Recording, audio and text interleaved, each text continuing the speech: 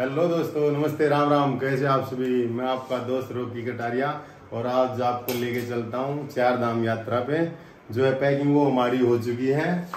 अभी ये देखो आप दोस्तों, ये दोनों इसमें टेंट है, चार, इसमें चार चार पर्सन सो सकते हैं और ये फोल्डिंग वाली चेयर, ये हमारे सिलेंडर वगैरह है, ये चूल्हा इसमें, और ये जो है खाने का सामान। वो वहाँ पे लाइटिंग वगैरह लिए घूम रहा है और ये है अपना बैग।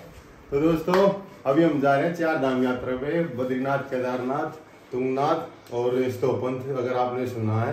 तो जो है कैंपिंग का ज़्यादा पार्ट रहेगा, जंगल में कैंपिंग करनी पड़ेगी। तो जो है सीरीज़ वो बहुत ज़बरदस्त होने वाली है। और हम जो है, वो फैमिली के साथ ही जा रहा हूँ अभी मैं तो दोस्तों के साथ जा रहा हूँ। तो उसी तरह से जो है, वो ट्रिप रहेगा। तो आप बस जुड़े रहे हमारे साथ और सीरीज़ को पूरा एंजॉय करें। और जैसी भी आपको लगे वीडियो तो कमेंट ज़रूर करें। ओके दोस्तों, चलो फिर चलते हैं केदारनाथ।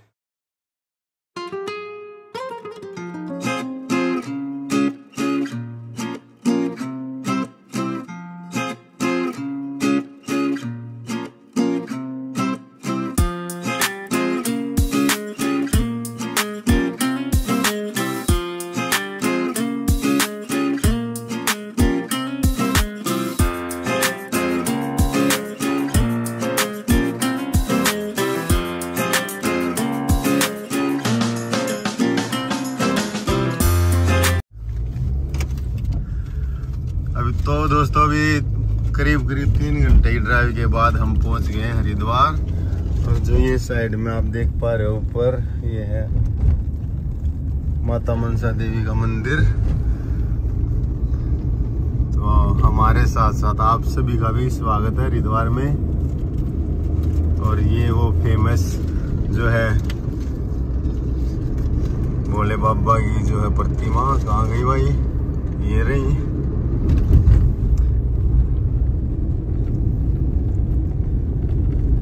तो अभी यहाँ पे थोड़ा स्टॉप लेते हैं और गंगा में डुबकी लगाते हैं और फिर निकलते हैं आगे। अभी टाइम हो गया करीब करीब? कितना हो गया? दो। बज गए हैं। और घर से करीब निकले थे हम ग्यारह बजे। तो फिर आगे की जर्नी स्टार्ट करते हैं एक बार गंगा में डुबकी लगाते हैं। अभी दोस्तों हम पहुँच गए हैं हर की पौड़ी और जैसा कि आपको पता ही है टाइम अभी ढाई बजे हैं। तो बिल्कुल खाली है। यहाँ पे दिन में तो अभी भी काफ़ी रस हो जाता है, लेकिन अभी जो है वो बिल्कुल खाली खाली है हर की पौड़ी। तो अभी यहाँ पे करते हैं स्नान। और हम जो है वो बस छोटी सी कार से ही पाँच जो है दोस्त वो आए हुए हैं, क्योंकि क्या बाबा का बुलावा है। तो अभी भाई बाबा ने बुलाया सबको तो किसको मना करेंगे? तो इसलिए हम सभी साथ में निकल पड़े हैं और अभी स्नान करके फिर चलते आगे की जर्नी में काफ़ी सारे वाटरफॉल रहेंगे और बहुत ज़बरदस्त ज़बरदस्त व्यू आने वाले हैं तो आप जुड़े रहें हमारे साथ, बस।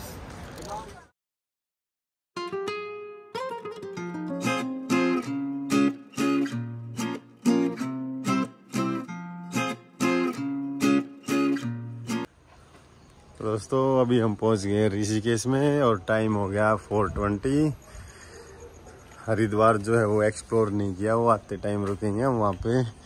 क्या है कि बद्रीनाथ जाना है। सॉरी केदारनाथ पहले। तो इसलिए जल्दी जल्दी निकल रहे हैं। और शायद आज दोपहर के बाद जो है वो यात्रा स्टार्ट कर देंगे।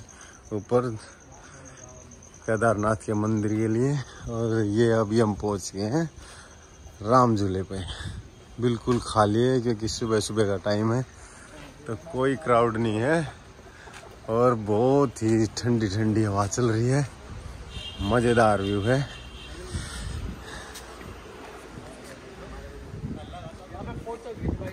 अरे भाई, इसकी फ़ोटो खींच दो एक दो। हाँ खींचू तो ये व्यू है दोस्तों और नीचे गंगा जी बह रही है।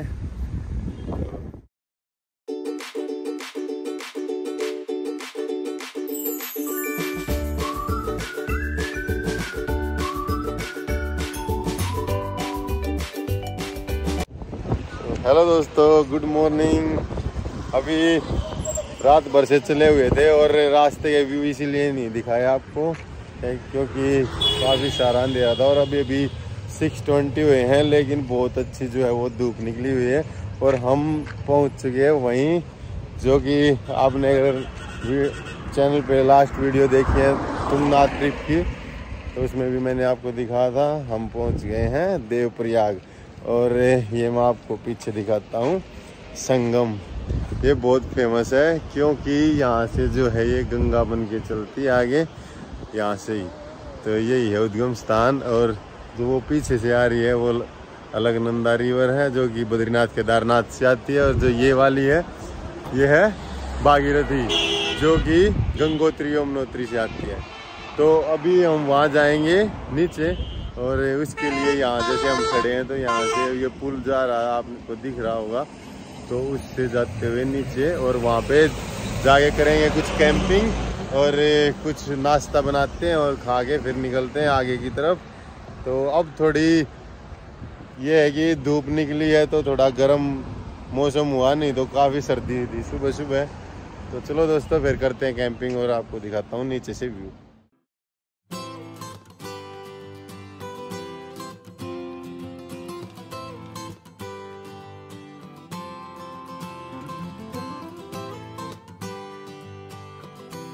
तो अभी दोस्तों हम वहाँ से ऊपर से आ गए नीचे और यहाँ पे। अब भाई बन गई है हमारी कॉफ़ी। ऐसी हँसी की बात ये हो रही है कि चीनी लाना भूल गए। तो अब दूध पिए गर्मा गर्म कोई दिक्कत नहीं है। और तो दोस्तों अभी निकलते हैं यहाँ से और फिर चलते हैं उधर प्रयाग जो कि रास्ते में ही रहेगा। और वहाँ से जो है बद्रीनाथ और केदारनाथ के रास्ते अलग अलग हो जाते हैं। तो आप जुड़े रहे। करते हैं प्यारी सी लोकेशन को बाय बाय और करते हैं जर्नी कंटिन्यू ये भी दोस्तों देव प्रयाग से 35 किलोमीटर आगे निकल गए हम और हम पहुँचने वाले हैं अभी श्रीनगर। और जो ये श्रीनगर जो है, वो जम्मू वाला नहीं है। ये उत्तराखंड का श्रीनगर है।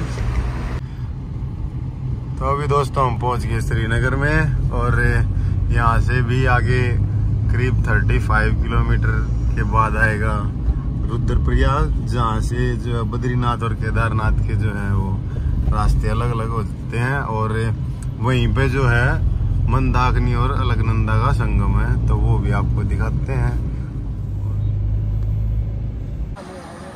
तो दोस्तों, अभी हम पहुँच गए हैं रुद्रप्रयाग और अभी मैं आपको दिखाता हूँ संगम, अलकनंदा और मंदाकिनी का।